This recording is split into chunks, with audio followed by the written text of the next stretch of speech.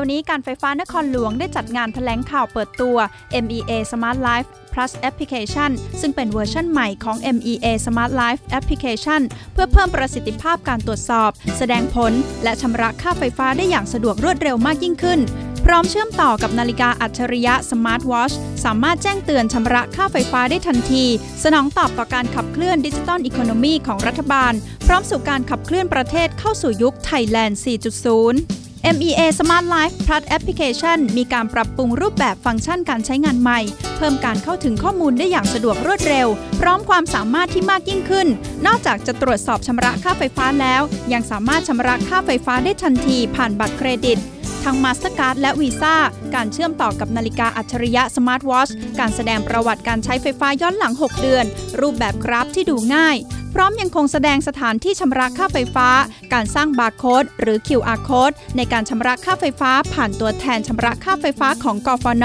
ได้สะดวกรวดเร็ว นอกจากนี้ยังมีข้อมูลติดต่อสาธารณะ เพื่ออำนวยความสะดวกแก่ผู้ใช้ไฟฟ้า พร้อมแสดงตำแหน่งกำหนดตามระยะทางได้ เช่น สถานีตำรวจ โรงพยาบาล สถานีดับเพลิงเป็นต้น ถือเป็นแอปพลิเคชันที่สมบูรณ์แบบ และมีความพร้อมของหน่วยงานรัฐในปัจจุบันค่ะ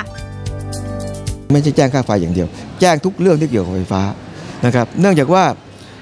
พวก smart watch พวกนี้เนี่ยเขาจะมีขีดความสามารถพิเศษอย่างหนึ่ง คือ